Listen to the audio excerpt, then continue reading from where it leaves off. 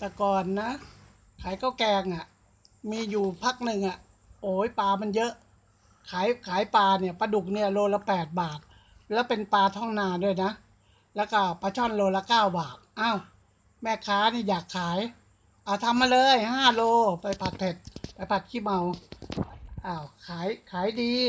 เอาปลาช่อนมาทำห่อหมก วันหนึ่งสองร้อยสามร้อยกระทงเนี่ยตัวใหญ่ ๆ ตัวละโลครึ่งเนี่ย อันแรกข้างมาให้เลย เดี๋ยวไปหั่นเอง เอาหัวกับผ้าท้องไว้ เอาไปทำชูจี